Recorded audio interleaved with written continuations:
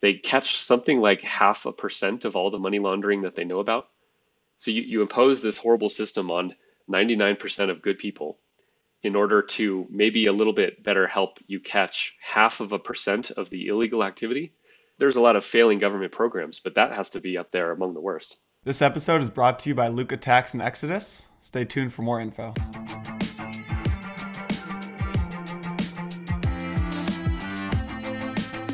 Erik, it is so nice to have you here, my friend. How you doing?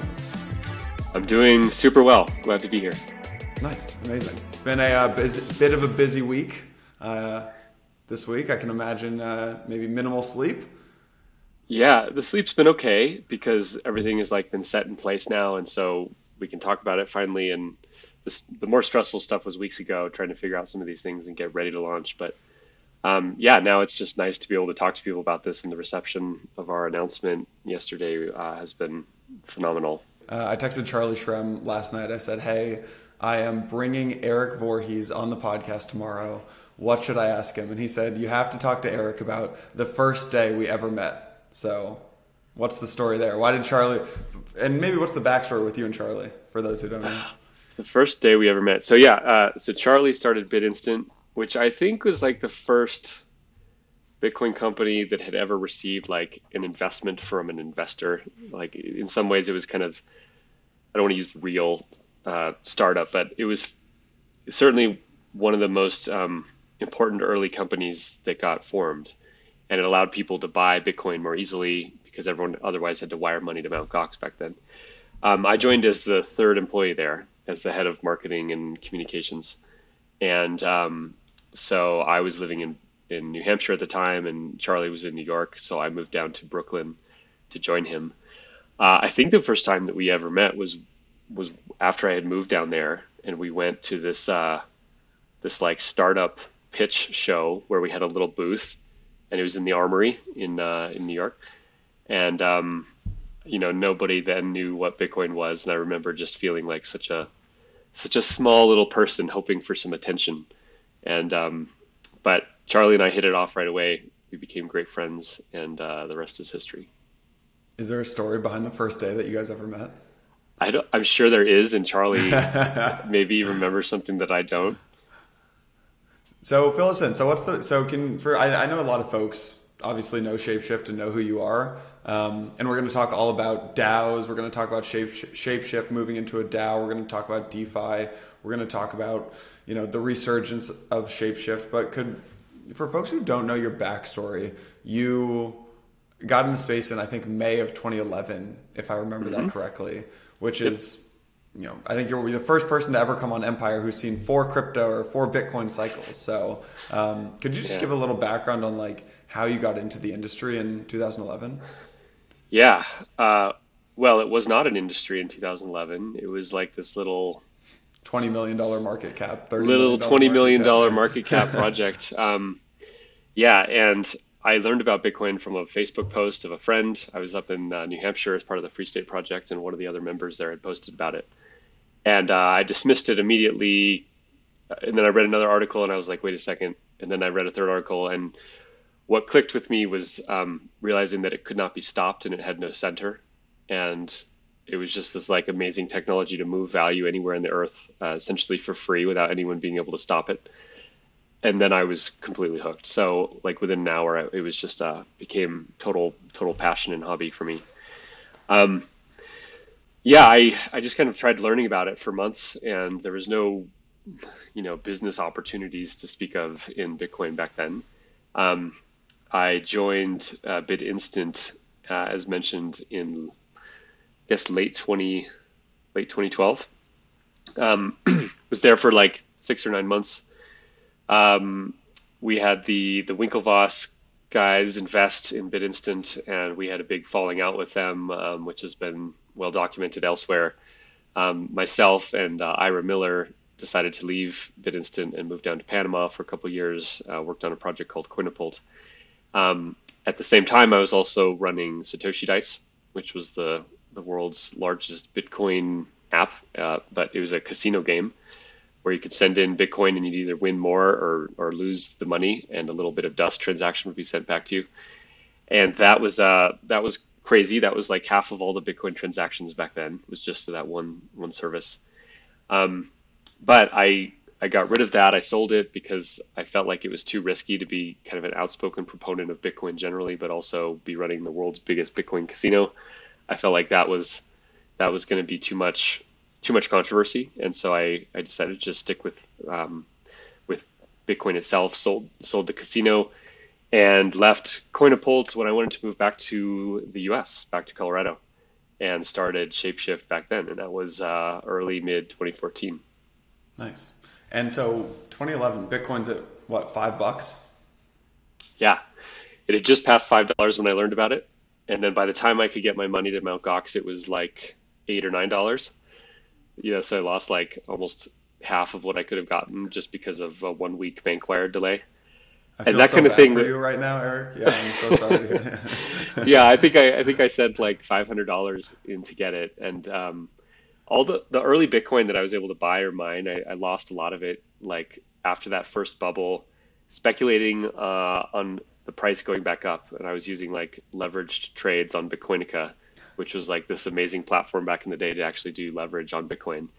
And I was like, look, I'm in this fully. I'm going to keep betting that it'll go back up. And I kept betting and kept betting and lost so much Bitcoin. And uh, of course, the price started going back up right after I had run out of Bitcoin to bet. So yeah. that was a that was a good lesson on like markets and timing. But um, yeah, it was uh, pretty pretty wild. That first bubble took it up from you know past a dollar up to about thirty one dollars in a few months, and then it slid slowly after that down to two dollars over the, like the next nine months, and that was that was a dark time because that was so fell, the first 90, 90 plus percent down to two bucks. Yeah, thir- thirty one dollars to, to two is like ninety five percent or something. Yeah and of course that was its first real bubble. Um, tiny, tiny community, and everyone who was a critic of Bitcoin had every reason to believe that it was done. That like that, it, it was the Beanie Baby thing. It was the stupid fad, and now it's going away. Look at what the price has done. You've lost ninety five percent of your money, you idiot. And every every hater, you know, was was winning the day. Um, there was nothing to look back on and show the resilience that Bitcoin now has. And having gone through multiple bubbles, you know, like it's now demonstrated that strength, but during that first one, didn't exist. Who were the big like names and like big big companies in the space back then that people might recognize? Like Roger Ver obviously was around back then. Uh, was Jesse Powell maybe? Charlie? Who's around back then? Jesse Powell was around, but Kraken was not yet created. Um, Roger was probably the most well-known person in the whole ecosystem, at least on the non-technical side. You know, he wasn't an engineer, but um, he was probably the most well-known there. And Roger had made a lot of money in his own businesses before Bitcoin. And so he was like one of the first early people to throw real money at the stuff, both in buying the Bitcoins and in investing in dozens of different companies that went on to go do great things. Um, Coinbase obviously hadn't started yet. Uh, BitInstant had just gotten off the ground. Um, Bitcoin businesses tended to be like little eccentric uh, e-commerce sites that sold something and had decided to accept Bitcoin, hmm. and that was like the Bitcoin industry. So like the the alpaca socks was a, a very early one. There's this like alpaca farm in New England, and they sold these wonderful, warm, cozy wool socks for Bitcoin. Um, so I think I have a pair of like 10 Bitcoin wool socks that I have from back in that day. um, so yeah, I mean, that was, that was most of it. It was, uh, it was tiny. Do you keep in touch with some of those? The, you know, everyone likes to throw the term OG. Do you keep around with some of those OG folks? Like, is there a big text message or Telegram group that the, you know the 2011, 2012 crowd is in? Um, the 2011 crowd was so tiny that there just aren't that many people from it like the first Bitcoin conference ever was in New York of August 2011, and there was 50 people there. I think there were two women, one of whom was my girlfriend, and um, you know Roger was there, and the the BitPay guys. You know, BitPay was one of the early companies that started very early on, um, so they were there already. But yeah, that was just small. I I keep in touch with a lot of those people, and you know, mainly it's like at industry conferences where we see each other, and it's um, it's cool to have you know lived like through a decade of this crazy ascent of Bitcoin and to see a lot of these same people. there's a lot of people that like haven't made it. You know, they like washed out or ended up in prison or or all that kind of thing. So it's not all been rainbows, but um, yeah, it's been a, it's been a good story. Yeah, we're we're gonna get out of the early days, but is there any story from the early days that you just think is really important to share, or you're like that? You know, I really hope that this one event or story or connection like doesn't get lost as the industry grows. Yeah, I mean, uh, I'll give an appeal to Silk Road. Um, Silk Road, you know, a lot of Bitcoiners know about that, but it was this online marketplace where people could buy and sell drugs. And obviously controversial. Um, personally, I believe that consenting adults should be able to do whatever they want. And I felt like Silk Road made a step function advancement in people's ability to safely buy narcotics. And so if they're going to buy narcotics, I'd rather them have access to safe ones. And it was it was an amazing project and story because not just because it was so brave to do, but because it demonstrated very early on how powerful Bitcoin was. It was a service that could not exist because of government intervention until Bitcoin came along and allowed it to allowed it to happen. Um, Ross Ulbricht, who now sits in prison for like 300 years, uh, does not deserve to be there. And I hope the people that understand this industry and that care about human liberty know that story of Silk Road, know the story of Ross, and um, keep him, you know, in their thoughts and are familiar with what happened. Were you close with Ross? No, I the first time I ever talked with him or met him, he was already in jail, and I went to visit him. Um, I know his mother now; she's been, you know, a tireless activist for him in all these years. So I, I met him when he was in jail, and I, I talked to him for a couple hours there. Um, you know, when you talk to someone, you can kind of tell like if they're a good person or if they're really shady. And he was clearly a good person. He had a lot of remorse about what happened, a lot of regret, and you know, just looked sad. Like his his life now has been stolen from him, and yet he had the courage to build something that almost no one has the courage to do. And um, I think really, you know, he he took a bullet for the advancement of liberty. So I, I, think he deserves a lot of respect for that. He's he's still a human. You know, no one should be idolized too much. But um, it is tragic that he's sitting in there for hundreds of years. Hopefully, he'll get out somehow. Yeah. When uh, so BitInstant, the company that you Charlie's company that you joined as director of marketing, I want to start taking it from BitInstant to Shapeshift. But what did that look like? Like so, so BitInstant. The my understanding and kind of how Charlie has told it to me is that Mount Gox was one of the only places to buy Bitcoin. It was in Japan. If you wanted to send money to Mount Gox, you needed like you know it took like a week or usually two weeks. So BitInstant helped facilitate the buying of uh, you know you buy like put in put in money into BitInstant like a 7-Eleven somehow, something like that, and then you guys had an account at Mount Gox, and then so you would buy for the person. Do do I understand that decently? Yeah, that, very very well said. Yeah, it would take okay. one or two weeks to get money there, and if Bitcoin's going from five to ten dollars, you just lost half your investment. So would you pay you know two percent fee in order to get your money there this afternoon instead of two weeks from now? That was a, a great uh, great business case. Um, grew very fast I remember thinking like this is getting crazy uh, on a day that we did like eighty thousand dollars in volume in one day. Um, today, that's like a completely insignificant sum for any crypto business, but like it had been growing so fast that we hit eighty thousand dollars, and I just remember thinking like, oh my god, this is so much money. This stuff is working. Um, yeah, it was it was a small team. We were in uh, in Manhattan. I think at most it ever got to like ten people or so, and uh, yeah, it was it was the way to fund money into Mt. Gox quickly and safely. Are there other folks who worked at BitInstant that people would recognize? Um, I mean, certainly the most prominent of that project were are the the Winklevoss brothers. So we met with them, taught them about Bitcoin, and to their credit, they seemed very genuinely interested in it and very they understood why it was cool. Um, they dove in, they invested in BitInstant, and we had a whole big falling out. But uh, you know, to their credit, they started Gemini after that, and Gemini has been a, a, super successful Bitcoin exchange. And to their credit, they have weathered you know several Bitcoin bubbles at this point. Um, so I you know I I appreciate and respect that a lot. They've been an important contribute. They've been important contributors to Bitcoin. So BitInstant shuts down. You immediately launch Shapeshift. You take some time, or no, no. So then you no, have we the, um, we left Satoshi BitInstant. Uh, Ira and I left BitInstant in the start of 2013. Um, I, I told them like this company's going down if we're not here. Uh, two months later, they took it down because they were too worried about regulatory issues, and it never came back. And BitInstant just ended up folding, kind of quietly suffocating under under regulatory paranoia. Um, so Charlie was there still for another, you know, six months, um, and then he ended up getting arrested on a flight back from the Amsterdam Bitcoin conference in mid 2013. So then he had a whole saga for a couple of years dealing with that. Um, you know, he was in, in prison for over a year um, for total bullshit charges, and uh, that's a whole interesting story. You started Shapeshift a few months after Mt. Gox shut down.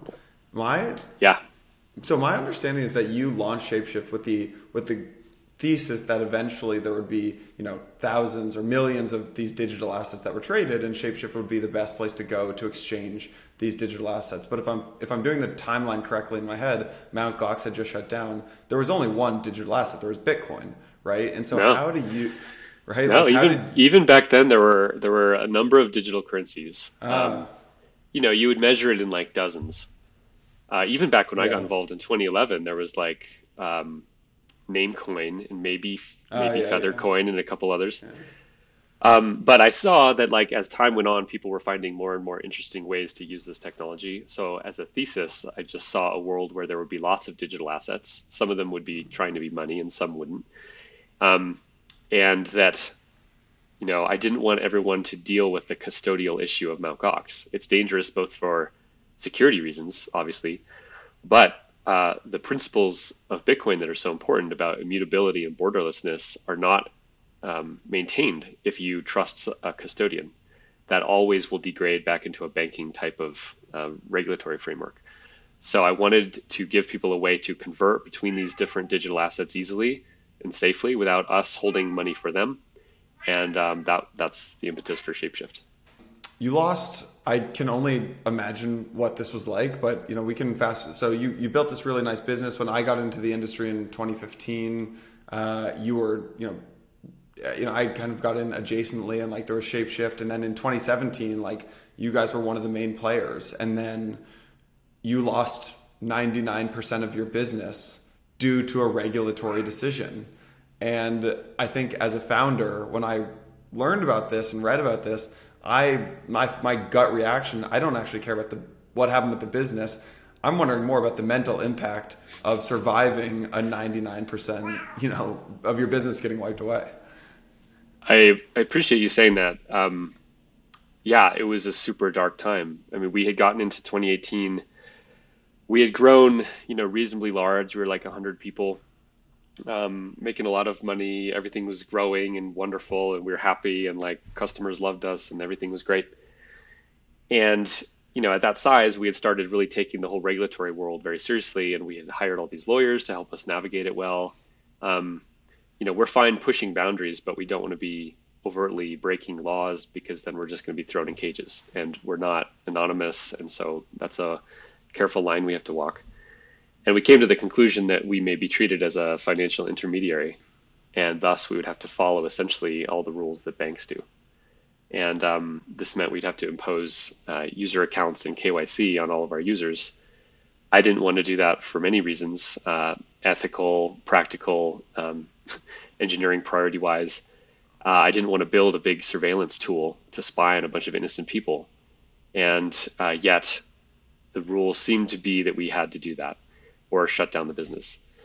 So we decided to bite that bullet and implement those systems. Um, and that was also into a bear market. And so, like, both of those things combined meant that the vast majority of our customers just went elsewhere. And I certainly can't blame them. Um, there were lots of other companies that weren't nearly as uh, worried about the regulatory system as we were at that point. And so the customers just went there.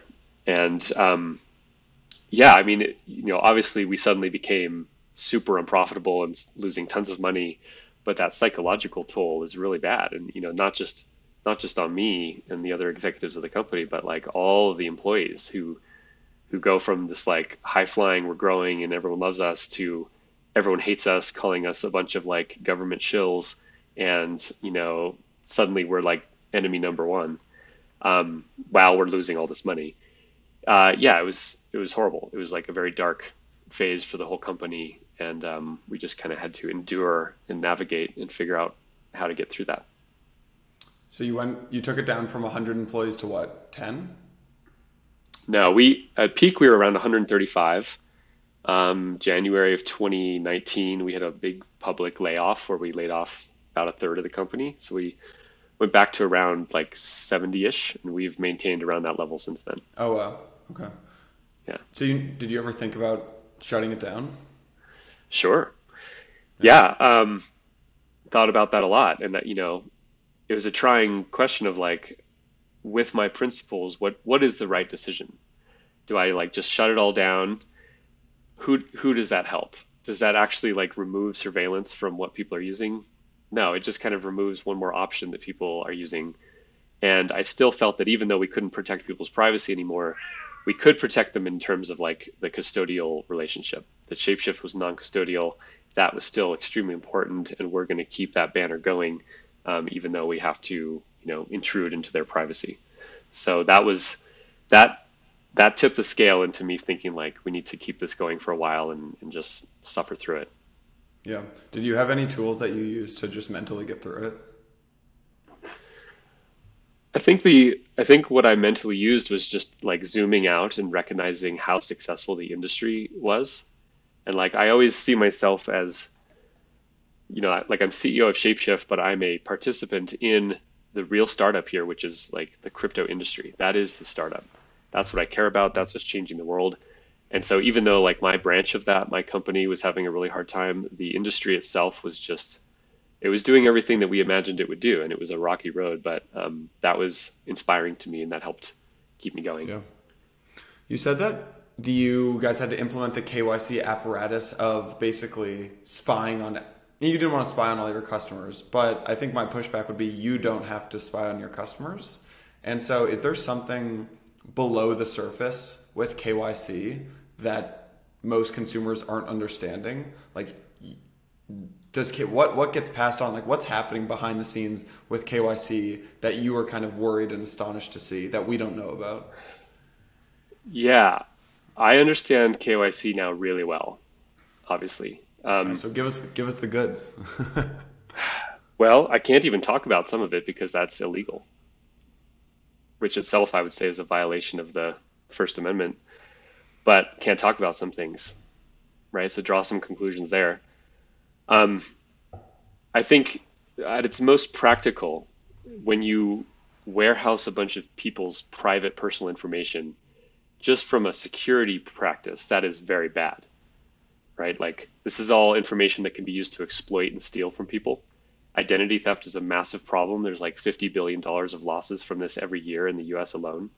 Um, it's like the worst form of property theft derives from identity theft. And so if you're collecting all this information, you know, you, you can try to be as secure as you want with it, but you're creating a massive honeypot for hackers. And you know, every every type and size of company has had data breaches from the, the tiniest all the way up to like huge government agencies and the IRS itself. So so to force a company to take a bunch of personal private information, which itself requires a huge amount of engineering effort to do that correctly and work with all these different vendors and pay a bunch of people to do various parts of it.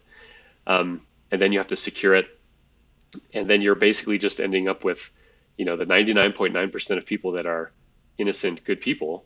You've endangered all of them so that you can help the state maybe do a little better job of catching an occasional bad guy. To me, that just seems like such a horrible perversion of justice. Like the presumption of innocence is supposed to be a thing. If you are not even accused of a crime, you should be allowed to have financial privacy. I don't know why that's such an extreme position to take. And yet, all financial regulation violates that completely.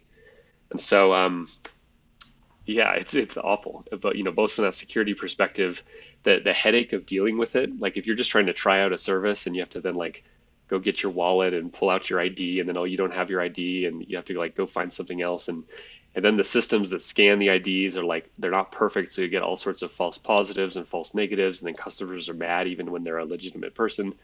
That it like causes a cascading set of of issues which are wholly unnecessary and inappropriate to be imposing on people. And any financial company that deals with this stuff knows exactly what I'm talking about.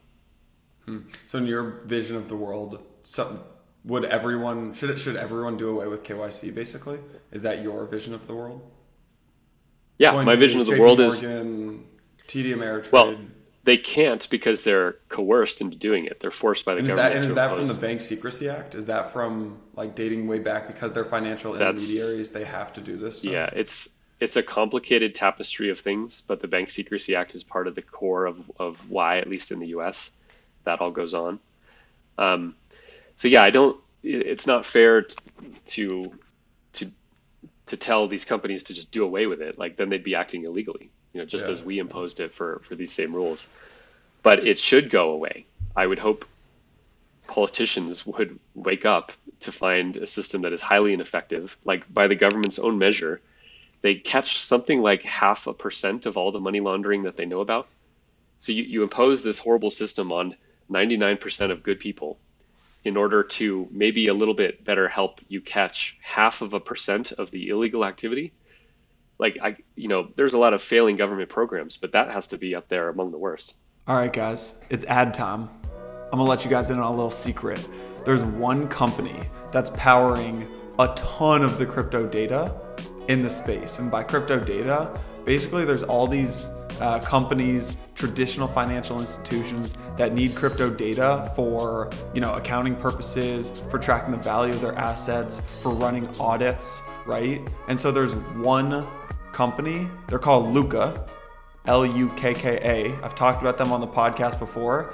They're powering some of the largest businesses in the world in both the crypto and traditional financial services space. They're the primary pricing source used by S&P Dow Jones indices for their new crypto index. So I wanted to uh, just throw this out there. If you guys are any sort of business that needs to value crypto assets, create financial statements, uh, perform any sort of normal accounting audit process, you guys should head on over.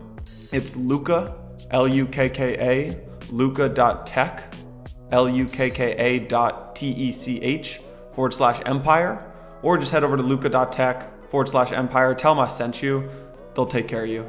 Alrighty. Let me know what you think. The other day, I posted on Twitter, I said, Who's the best entrepreneur? Who's the entrepreneur that everyone should know in crypto, but maybe doesn't know already?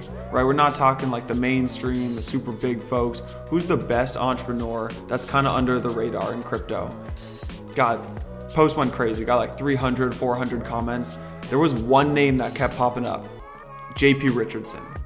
JP Richardson at Exodus. So I thought, man, that's crazy. Exodus is one of our sponsors. Let me call him out, right? So JP Richardson, CEO of Exodus, done an amazing job building one of crypto's most loved apps. And there's a number of reasons. They got a mobile app, they got a desktop app. You can instantly exchange over 100 different currencies. They've got interactive charts.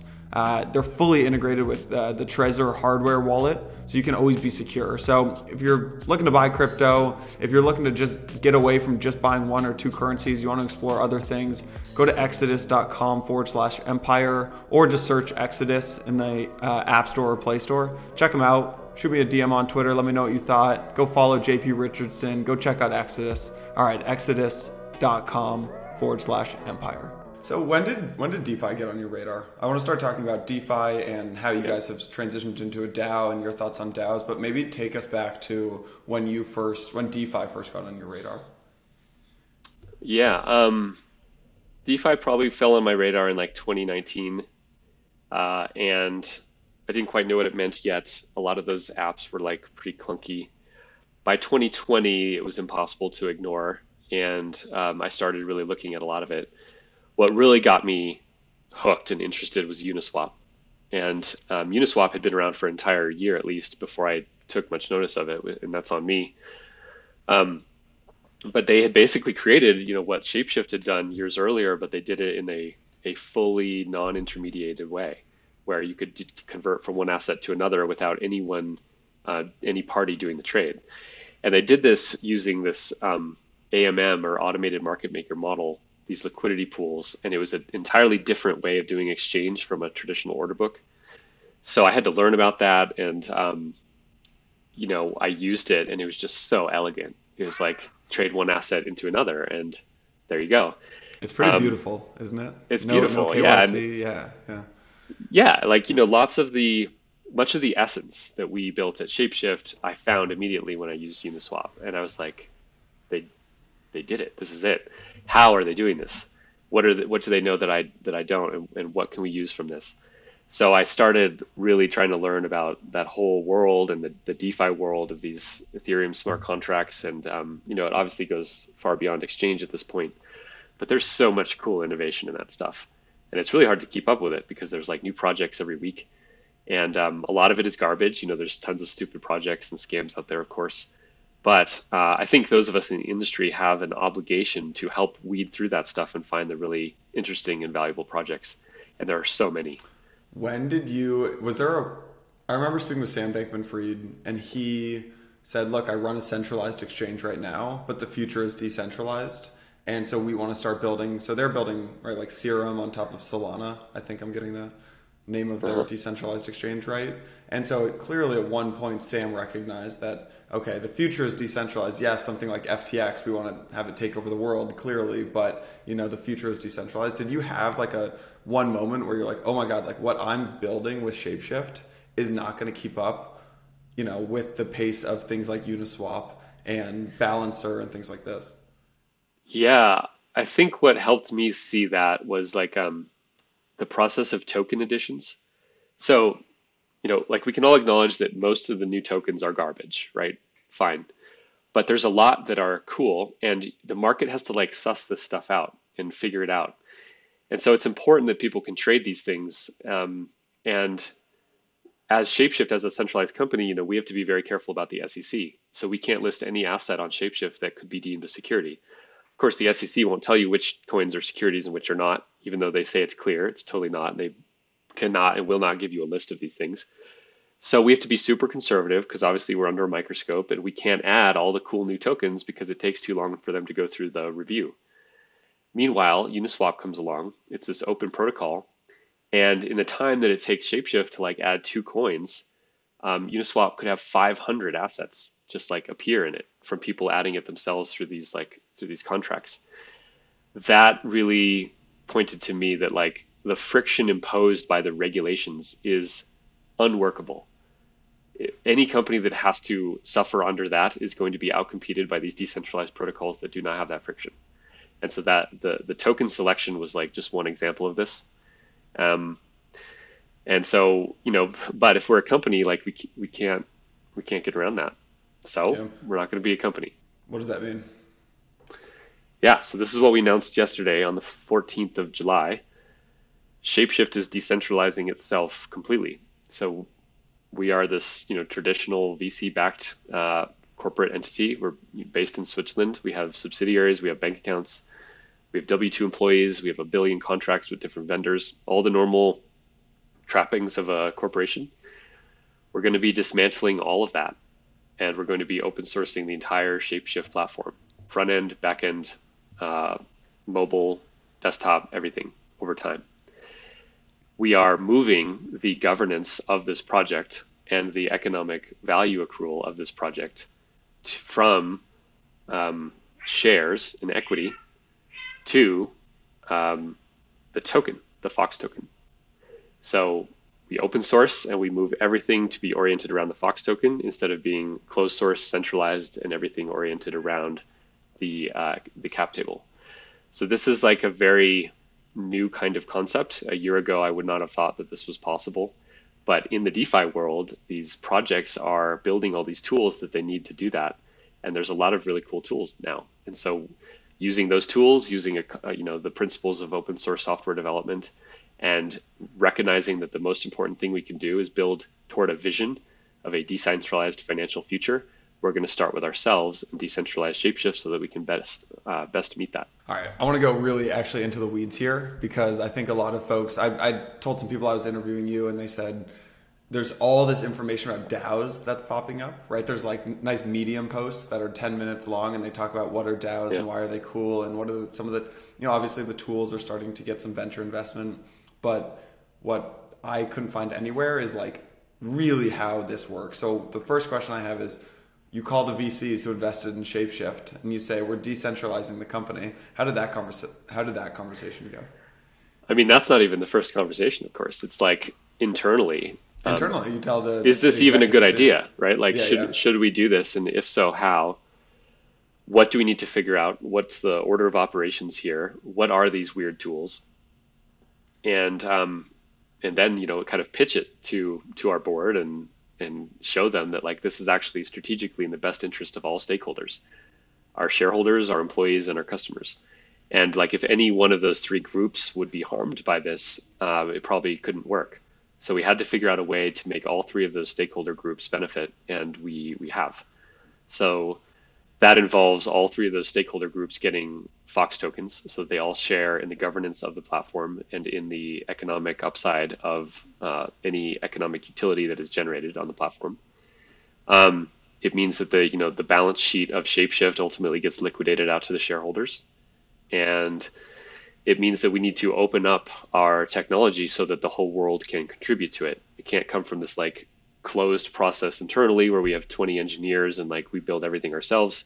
It has to morph into a, an open source structure. And so that alone is, you know, a huge project to take a, a large closed source um, system and, and open that up safely.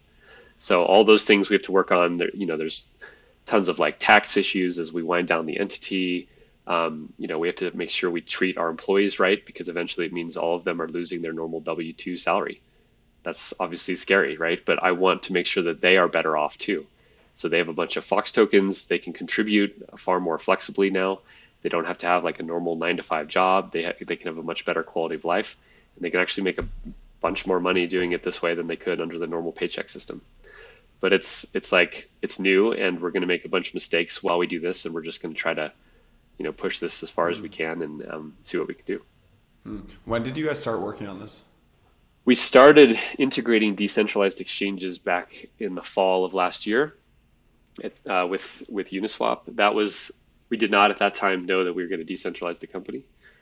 Um, when we released that and we released the Thorchain integration in April, the community feedback was so positive. It was, you know, like after two or three years of this miserable, like shapeshift is the enemy because of KYC, it was the complete 180. Like, yes, this is what we as the consumers want. You guys are doing a good thing here. We applaud that.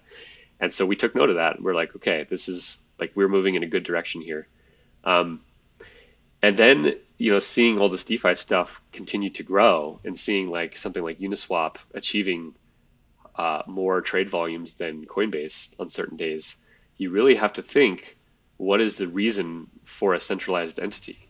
If you're building crypto technology and you're trying to build something for the world, why do you need to be a, a centralized entity? And you just start trying to knock down all the reasons why it can't work. Um, so I think we we started seriously considering it. You know, me and my co-founder John in around February. Um, as an executive team, we were discussing it heavily in April. I think all the employees were in the know by by May. Uh, we had decided and voted and everything as a board um, by the end of May, and then just mm-hmm. just yesterday on the 14th of July was the the public announcement. Has anyone ever done this before at this scale? I don't think so. There's um, no model. There's a you lot. no one. You had no one to look at to say we let's follow what they just did.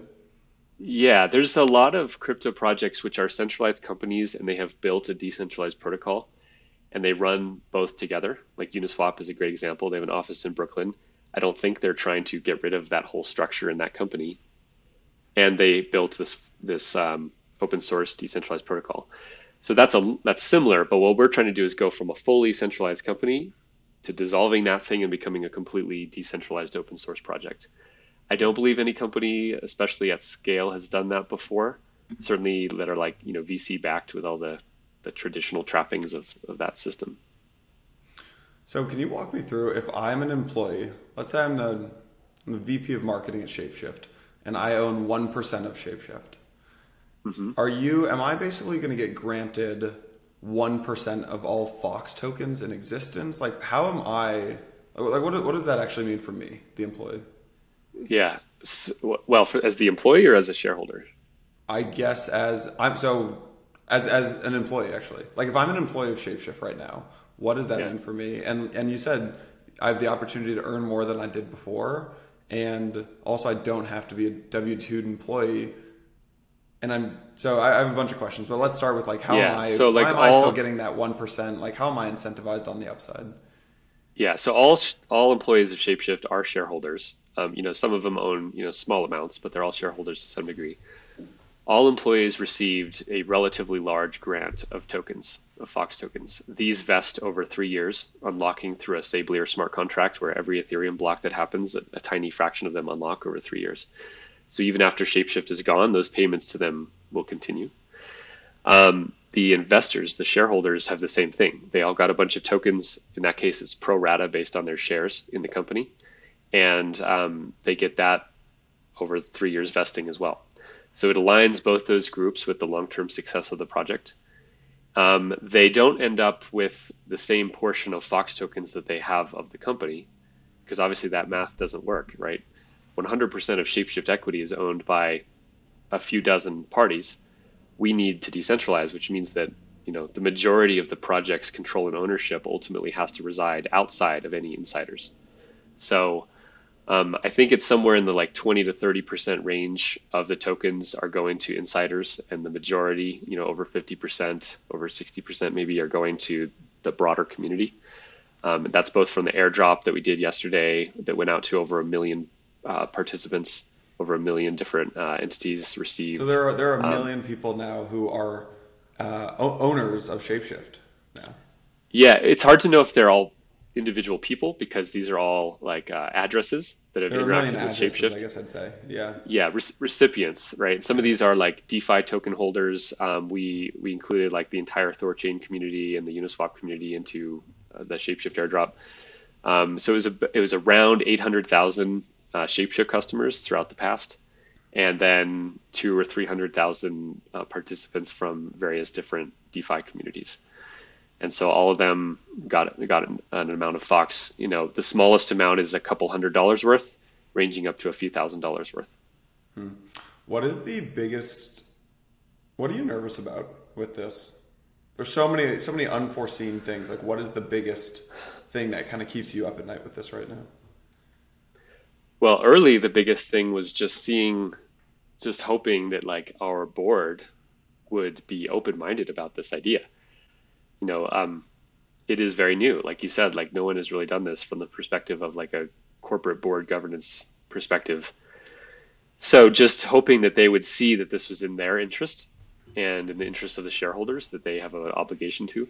Um, fortunately, they did. They saw this as like really cool. They they have financial upside. They get liquidity as we li- liquidate our balance sheet, and they get to be part of you know a potentially revolutionary change in how businesses can operate. So to their credit, they were on board, and that was good.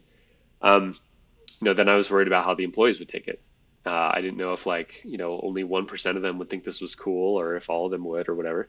I think the vast majority of them are pretty excited about this. You know, obviously not everyone, and some are you know not happy that they're going to lose their standard paycheck, and that's that's understandable. Um, we're moving to a much more entrepreneurial model, and that's not appropriate for some people, and others thrive in it. But we got the vast majority of them on board, and then at this point, I'm just nervous about things we don't know how to do. Like, I don't know how to build a a DAO. We've never done that before. Um, we have good people inside the company that are very familiar with this stuff, but it's all it's all new. We can make a million mistakes, and we will. So I'm just I'm hoping we can execute on it well, and I'm hoping that we do a good job of communicating what we're trying to build to people and why they should get involved, and you know, kind of that value proposition. So if I'm that VP of marketer that we talked about five minutes ago, and so I'm losing my salary, right? I'm losing my biweekly paycheck. How am I getting yep. paid by the company now? How or how well, the co- or by the there's no company. How is the dow paying me? Yeah, so you've already received a grant of tokens that vest over three years in tiny increments. So Who's telling me what go. to work on?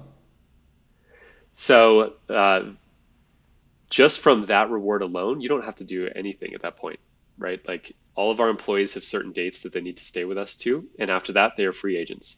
Some of them will totally leave and go off to other projects. Some of them will continue working on Shapeshift part time. Some of them will work on it full time. All of them have a strong, vested, long term interest in the success of the token. So part of the experimentation here is how much incentive you have to like force on people versus how much incentive they can come to their own conclusions on. Um, past that grant, anyone who wants to get paid for specific work, and this is whether you're a current Shapeshift employee or a new person in the community that wants to, there is a process by which you communicate with other parts of the community, you propose things, and ultimately large grants of money get voted on by the DAO, which has a massive treasury, uh, and it will fund various people and projects that do good work.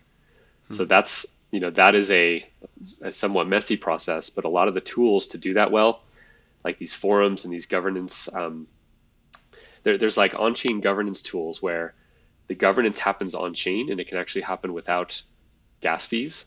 So you can actually do like on chain governance without any transactions going on. Um, and then, based on the results of these votes, actual on chain transactions from treasuries that are held in multi sig arrangements can actually pay destination addresses. See, and this is all like new tooling that's just been built over the last year. So, and I expect that will continue. So, the, the tools to run a DAO are still very adolescent, but they're getting better. And I think in a year or two, it's going to be like a, you know, a golden age of economic organization. And, and this is really like a new way for organizations to build themselves in the 21st century. We were talking to Robert Leshner from Compound, and he said one of the best investment opportunities right now is tools that support DAOs. So, yeah, uh, I think that'll be a huge, huge yeah. industry. You know, just as when the internet came out, like so, so many tools for internet work had to get built that make the internet highly functional today. We're just at the start of that process with DAOs. Do you, um, actually, before jumping to something else, so I'm more, I'm still curious about the decision making of a DAO. So let's okay. So Blockworks. By the time this episode comes out, Blockworks will have announced that we're hosting a 5,000 person DeFi conference. It's called Permissionless. Cool. It's going to be really badass. Uh, it's going to be the best thing that we've ever done. I'm so so excited go. about it. Yeah, it's going to be great. You should speak. And um, when say say we want to pitch Shapeshift on a sponsorship, right? Previously, yeah. we've spoken with Shapeshift's like VP of marketing or CMO. Yep but we, if we want to sell Shapeshift or try to sell Shapeshift like a hundred thousand dollar sponsorship, who are we pitching now? The DAO yeah. and the token holders? Yes. And you would do that by going into the forums. At first, you would want to casually run the idea by people. So you'll post something that's not a vote, it's an idea, you know, and the more specifics, the better. Like, you, know, you guys are putting on this conference. Here are the dates. Here's where it is. Uh, you want $100,000, and here's what Shapeshift gets in return for that if there's good sentiment for that, then you would turn it into a formal proposal. That formal proposal can get voted on. It'll have a period where quorum has to get reached, and um, people will vote. You know, anyone that's holding Fox tokens can vote on that, and if it passes, then the money can get unlocked and sent to you guys, and then everything else can follow from that. It's fascinating. Yeah, it's you know like it's a lot of it's the attempt at recreating the important elements of what a corporation does while getting rid of the cruft, like the, the regulatory, the jurisdictional, the bureaucracy cruft that has built up over a 100 years of corporations getting built. And these things were very important for in the industrial age, still are. I don't think like every company should become a DAO or anything like that. But as we're in like this digital world, and especially for those of us building projects that we want to be immutable and borderless, there is a new a new way to organize um, economically. You know, it's not just like it's not just a bunch of volunteers with a passion project. It's like people making real money, doing good work, and building together toward a common vision, without like a Delaware C corp being involved, without a bank account whatsoever. Um, so it's it's exciting, you know. And as as someone who has seen the bureaucracy that creeps into a company, even as relatively small as Shapeshift at you know 50 or 100 people, so much of our time and energy went into things that was not the product for the users. That's what we should be focusing on. And my hope is that with this with this change, that will actually become you know 95% of the focus instead of 40 or 50 will uh, will uniswap be bigger than coinbase in a decade will will will Aave be bigger than blockfi in a decade five years yeah um, i think i don't know about those specific names but i think your more important question there is will the best defi protocols be bigger yeah. than the centralized counterparts. I believe that that they will. Um, I'm a big fan of both Coinbase and BlockFi. I'm a customer of both. You know, I have I have money at both. I've used BlockFi as like collateral backed loan. Um, I've borrowed money. I've lent money through them. Cool service. And then I've used Aave, like this decentralized protocol where I can just like put up ETH and pull out a stablecoin in like five seconds with no KYC, and I could do it from anywhere in the world, regardless of territory restrictions, and I don't have to wait three days for an approval to withdraw. The user experience of that is just an order of magnitude better. And this is still early days for these DeFi projects. They're still relatively young. So as they get better, like that's just going to blow any kind of centralized custodian out of the water. Um, and it, you know that does not mean that I don't think Coinbase and BlockFi will be very successful businesses and make a bunch of money. They have been, they are, and I think they'll be successful into the future. But in terms of proportional growth, the DeFi protocols are going to have far more proportional growth than the centralized custodians. Hmm. Do you, I guess, to further that question, like, do you think that most companies, do you think if you're launching a company today, let's say you're an entrepreneur, you're really interested in crypto, you've been in the industry for a few years, you know a decent bit about it, and you've got some investors, you've got a great idea, would you launch it as a DAO? It it depends on the specifics. You know, like I, I don't think you can. For for some, the answer should be yes. For some, the answer should be no. Again, I don't think every company should be a DAO, but people should learn about these tools and they should think like which model is better, one in which we're this centralized company or one where we're this we're a DAO and they don't have to be mutually exclusive. You know, like Shapeshift has been a centralized company, and we have discovered a way in which to make ourselves a DAO. So we're going to pursue it.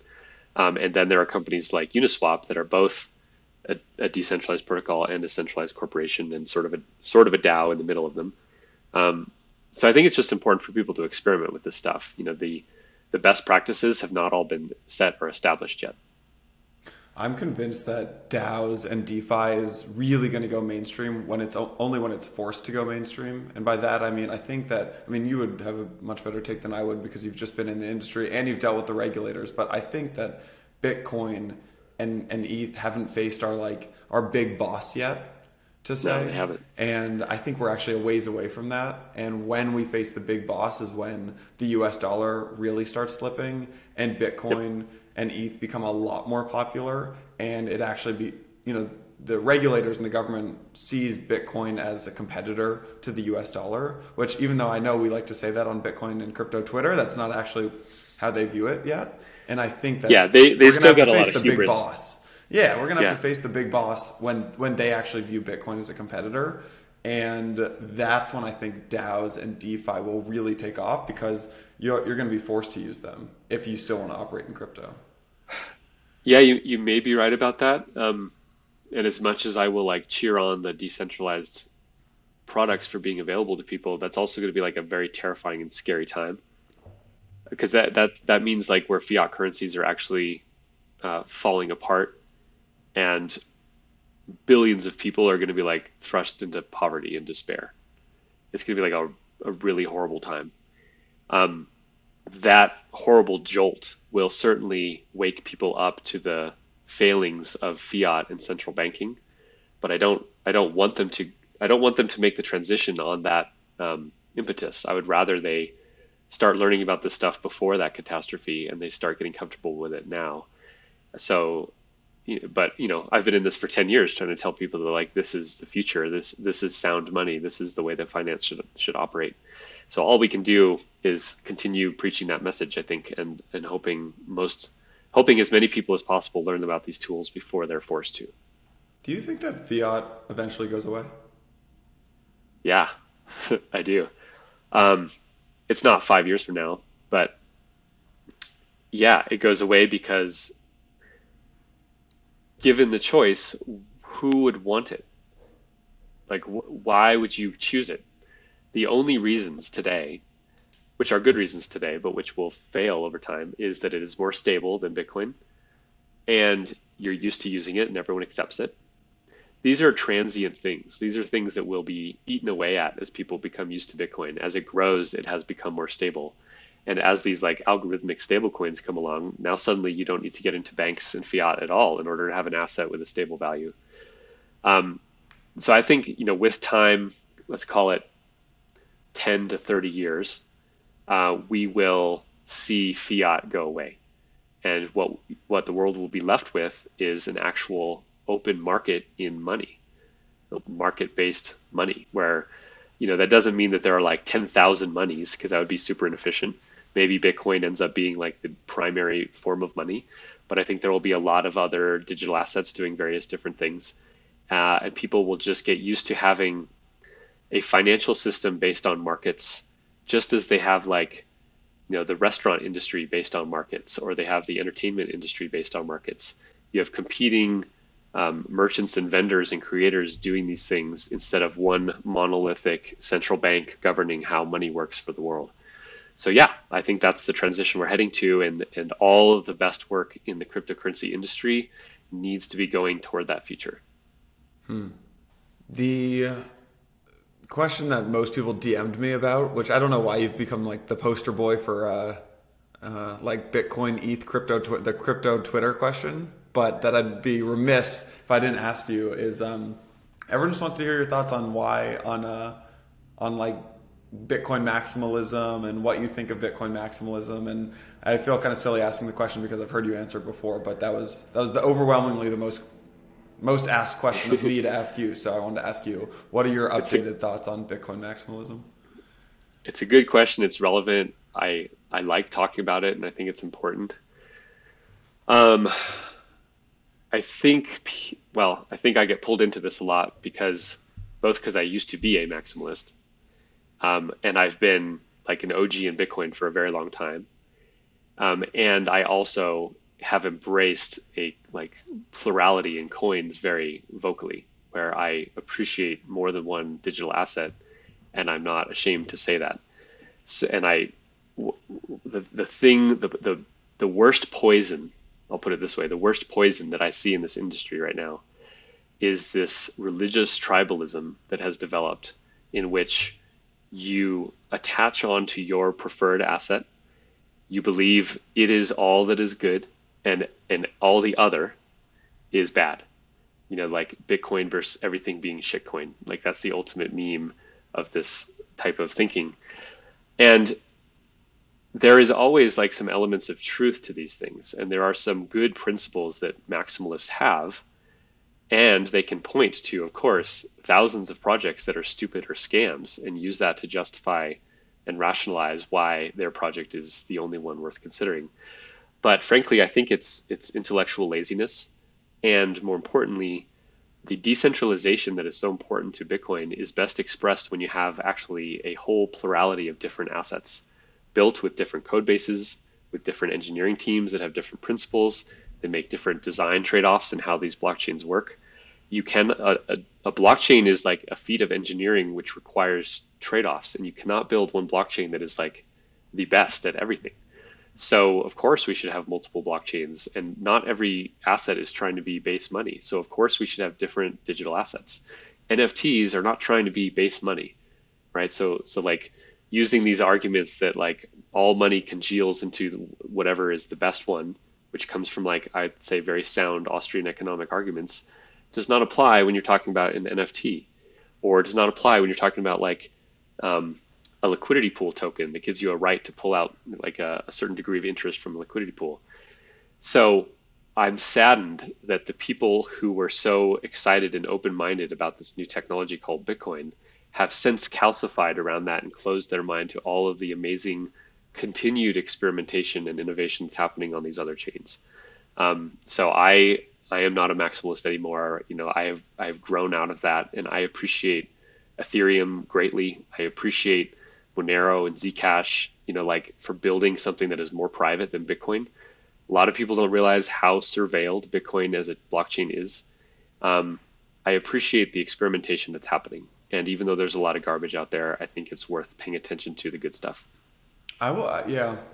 I think that was more eloquent than I could have said it. I, I think it really frustrates me. Um, yeah, I think it really frustrates me. I don't know. I think that we got into this industry and got so passionate about it, and you can ride out the bear markets because you're building something amazing that's kind of taking on this financial system and trying to eat it away from the inside out. And then you have things like Uniswap and Compound and Aave that are honestly, when you use them, like it feels like magic. It really feels like magic, yeah. and, and it's amazing. And it's decentralized, and there's no central entity. And then I talk about it on Twitter, and I say I enjoy using Uniswap, and get berated by by Bitcoiners. I don't know. It just feel it's comical, but also a little bit sad, and also makes me think that a lot of these folks have have forgotten why we're doing this. A lot of them have. Um, their principles, sadly, have largely moved from like uh, ideological principles of like decentralization and, and liberty to prince to Bitcoin being the principle, and that's now what they worship. And what that causes is that you will sacrifice a good project that's not Bitcoin, even though it is better at the principles that you originally believed in. The privacy coins are the perfect example of this. Nearly every Bitcoiner that was into this stuff early cared about privacy, and most of them still believe it's important. They believe that anonymity is valuable and legitimate and important. Bitcoin is objectively less anonymous than Zcash and Monero. So, how can you possibly dismiss those things as shitcoins if you care about financial privacy? It's reasonable to say, you know, I respect that, but I just don't want to own any of it. That's fine. It doesn't mean you need to own these things or invest in them. But to outright dismiss them because they're not your coin um, is really, you know, losing the plot, frankly. And you know, if, if I'm going to go into this a little more, I think a lot of the maximalists are frankly too scared to go up against the big boss, which is government, which is regulators. They are too timid to take any material steps to advance the stuff against that real boss. And so they take cheap shots at each other on Twitter and pretend that they're being a hero. Do, do you just ignore it? No, I mean maybe I should, but I'm I'm addicted to crypto Twitter as much as as much as any of us. I think Glad part of me feels like hopefully I can prevent some people from becoming maxis, or maybe I can convert one of them to not be anymore. Mostly, I just don't want many people to slide into that poisonous mindset. And it's interesting to see that mindset develop in Ethereum. Like there are Ethereum maximalists that have all the same psychological traits that you find in the Bitcoin maximalists, um, and and are all wrong for the same reason. Yeah. I last note on this, and I think it, one of the other reasons I think it's absurd is that you see the SEC, like you see the accreditation, uh, accredited investor rules, and you're like, that's absurd. We should, you know, people should have c- complete control to do what they want over their money. That's ridiculous that we impose these accredited investor laws on anyone in America. And then I say that I might buy some Ethereum, and people say that's ridiculous, and they try to basically act as the SEC, and they're you oftentimes when you talk to these folks, their reasoning is that they're trying to protect the consumer, right? I'll, they're trying to protect I'll, the consumer of from. I'll counter that a little bit. I'll counter that a little bit because I, I think it's always fair to argue to someone that they shouldn't do something. I have no problem with a with a maxi, you know, telling you you shouldn't buy something and then like debating that outright. Like all that is is speech at the end of the day that's not ethically wrong of them, even if they might be wrong about the opinion. The SEC is different. They're not just telling you, uh, they're not just providing advice. They're not just speaking. They're actually using coercion. They're blocking to yeah, yeah. to to fine, to steal, to imprison people who make the decisions that they don't want them to make. So, I, you know, as much as I dislike the maxis, I'm not going to put them as low as as the SEC or a government regulator. Fair enough. Fair enough. Um, all right, Erik. Let's yeah. start to wrap this up. I've um, I have a few questions for you. I'm I'm just really curious how you go about learning. Um, you've been in the industry for so long, and it's really easy to to just probably sit back and I don't know how much money you've made off Bitcoin, but I'm assuming it's a lot of money. And so like it's probably pretty easy to get like a little bit lazy, but this industry moves so quickly. So I, I think I found myself really impressed by how much you're still able to innovate um, and and stay attuned with DeFi and lead the way with DAOs. Um, and I find it really impressive. So I'm curious, how do you go about learning um, and just staying yeah. in tune with what's going on? Uh, I mean, you know, if I'm being honest, part of it is just like necessity being the mother of invention. You know, and I like I don't need to run Shapeshift for money reasons, but I care about Shapeshift and I care about the principles of decentralization and, and self custody. So I have been trying to find how to build Shapeshift in a way that that isn't illegal, but can still create the kind of application and user experience that I that I value. So I've had to follow this stuff because I've been looking for a way out of what we got trapped in. Um, more high level, I mean, the the way to learn about stuff is just to use it. So if you're confused about DeFi, like you know, you could go read a few articles about it, or go use Aave. Go use Aave. Go go take 10 Ethereum and like get a, a loan from Aave in a stable coin. Take that stable coin to another DeFi protocol and, and earn interest in the liquidity pool. Like go go through that flow, and you will learn about a whole magical new world of cool stuff that's happening, uh, more than any article can ever explain. Yeah. Um, what founder, what founder, or just entrepreneurs in general do you admire right now, in crypto or out of crypto? Um, I yeah, I mean, I gotta say, I I admire um, CZ and, and Sam Bankman-Fried uh, for the speed with which they rose up and built something that is huge. You know, like you, you got to respect that. Um, CZ, you know, it, he is someone who certainly pushes some boundaries and yet has maintained as the leading exchange of the world for longer than anyone else in crypto history. There was a long time where every year a new exchange would take the, the crown. And that crown has sat with Bit, with Binance now for a few years. So that's impressive. Um, you know, I, I do want to give some some credit to um, Brian Armstrong at, at Coinbase. I, he gets he gets a lot of hate because it's always easy to hate on like the big established corporation, but Brian built from nothing the most important crypto company out there and has helped establish this entire industry in the mind of the mainstream. Um, so even though I think self custody is important, and even though you know I don't like a lot of the things that Coinbase is forced to do, they have been so important for the whole industry and they have stuck with it and built something great. Um, so I, I got to respect that. Hmm. All right, we can wrap it up. I'll ask you the same question that uh, I ask everybody, and then you can flip the interview and ask me one question if you want. So the question I ask everyone is just, what is one thing that's maybe keeping you up at night right now, or that you're worried about for the future, that you think some folks in the audience, some of the listeners might be able to help you out with? That someone could help me out with? Someone can help you out with. Yeah, go ahead. All my all my fears have to do with like what horrible actions regulators will take to harm peaceful people. So so let's go um, there. So what so what is that yeah. fear?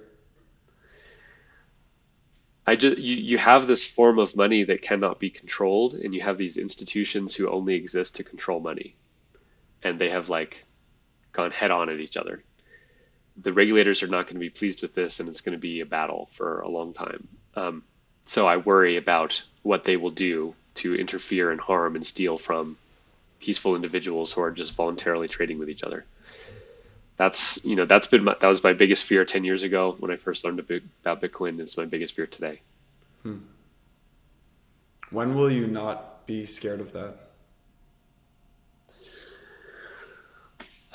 I think if I wasn't like on the front lines in the industry, then I would be less afraid of it because um, I wouldn't be personally at risk. Yeah. So that's the biggest deal. Yeah. Yeah. All right. We can flip it. You can ask me one question. Okay. Tell me about a project that I should learn about that I might not know. Mm. It's cool. Um, I think the company that, um, I mean, I'm assuming you know all the big DeFi um, platforms right now, so so I won't go there. I, but I think honestly, the listeners, if they haven't spent some time, honestly, going on DeFi Pulse and just looking at the top projects like Aave and Balancer and Compound and Uniswap, I would really urge a lot of the listeners to just pull up this website called DeFi Pulse that tracks the state of the DeFi industry and just go play around with those. Um, but for you, Erik, I mean, I again, I'm assuming you know a lot of the companies, but Multicoin just led a $9 million round in a company called ooh, Superfluid, Superfluous, Superfluid, I think it is, yesterday. Do you know mm-hmm. of this mm-hmm. company? I don't. All right. So I would type in, go, and everyone else can do this too, type in Multicoin Superfluid on Google.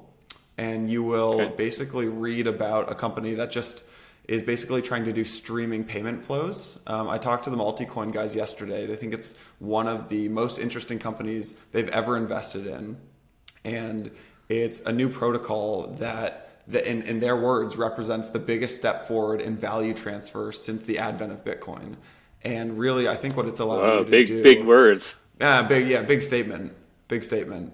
Um, Cool. So I will. I can put the link in the YouTube or in the podcast, but it really it allows you to just I think stream payments in real time, um, and it's I think going to be the the backbone of DAO payment. It, will it'll be the payments infrastructure for DAOs. Um, so Cool. yeah, this is super like something it that, allows DAOs we to can probably use. Yeah, it allows DAOs to authorize a single transaction to pay contractors indefinitely or until the end of an assignment. It can be used for like DAO to DAO interactions. Uh, it can be used for IoT. It could be used for DeFi. So I think it's a really interesting company. Cool. Thank you for telling me. I'll look into them. Yeah, of course. Erik, thank you, my friend. Thank you for uh, giving me an hour of your time, hour and a half of your time. Yeah. I, I really appreciate it. And honestly, just really big fan of how much you've been able to innovate. And uh, on a founder level, I really respect the hell out of what you've done, kind of building from you know having a company that got hit really hard and was it was honestly out of your control and building back. It's it's really really impressive. So Thanks. good work. I, I appreciate that. It's been a good conversation. Yeah, likewise.